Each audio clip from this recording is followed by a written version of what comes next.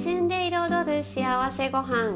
今日は卵とインゲンのおむすびを作ります。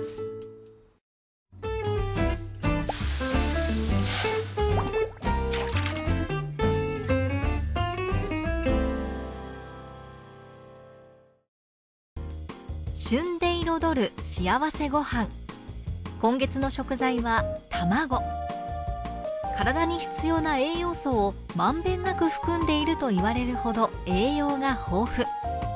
洋食から和食スイーツまで幅広く使われています。ゆで卵を使って彩りの良い野の花を思わせるおにすびを作ります。行楽にもおすすめですよ。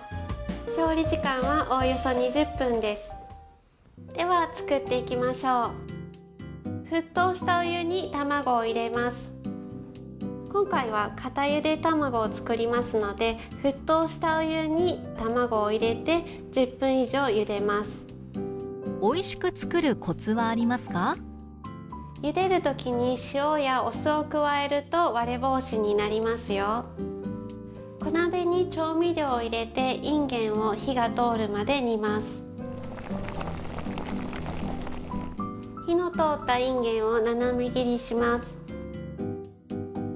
おむすびを作ります。手に塩水をつけて丸く握ります。ざるで黄身を裏ごしします。裏ごしが必要なんですね。黄身を網目のあるものでこすと仕上がりが綺麗ですね。仕上げにインゲンと明太子をのせますこれで卵とインゲンのおむすびの完成。白いご飯に黄身の黄色。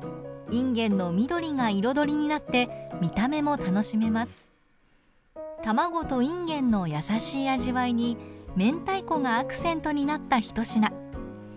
これからの行楽シーズン野の花が咲いたようなお弁当を持ってピクニックもいいですね。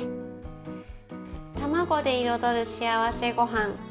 ぜひお試しください。